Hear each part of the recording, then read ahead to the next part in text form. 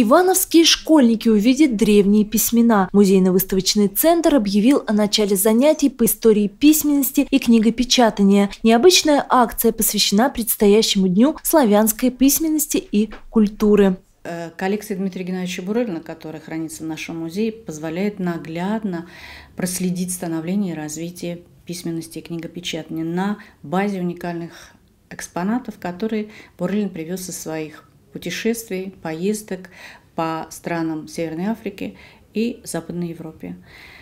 Занятия планируют проводить для учащихся 4-6 классов в формате небольших 45-минутных лекций. Юным исследователям покажут уникальные экспонаты с различными видами письменности. В музее сохранились редчайшие экземпляры. Здесь и самые маленькие книги, которые запросто умещаются на ладони, и первый печатный том «Апостол» 1564 года, и даже один из первых учебников арифметики на кириллице. Очень богатая коллекция старинных рукописей.